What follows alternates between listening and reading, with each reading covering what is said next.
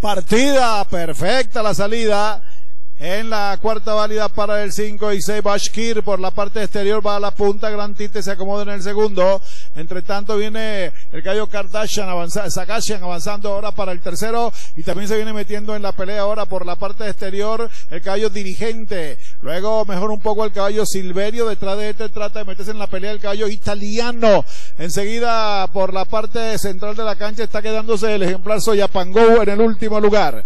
Van en 23, 3 quintos. Y el caballo Bashkir domina la carrera. Grantita en el segundo, dirigente en el tercero. En el cuarto lugar viene avanzando ahora el caballo Tío Fader. Luego lo hace italiano por la parte exterior de la cancha junto con el caballo Zagatian. Luego Silverio. Y sigue en el último lugar Soyapan Go. Se acercan a la última curva y se estrechan las posiciones. En 47 los 800 entran en la recta final. Tío Fader por la parte exterior de la cancha. Y también el caballo Bashkir que lo hace por dentro. Tío Fader pasa a dominar la carrera. Bachkir queda en el segundo, levanta el jinete Giancarlo Rodríguez, busca ahora por la parte exterior, domina Tío Fadel, el número 6 con Reyes Ramos la carrera y no puede perder, les gana Tío Fadel, el número 6, el segundo lugar para Bashkir, ganó Tío Fadel, segundo Bashkir.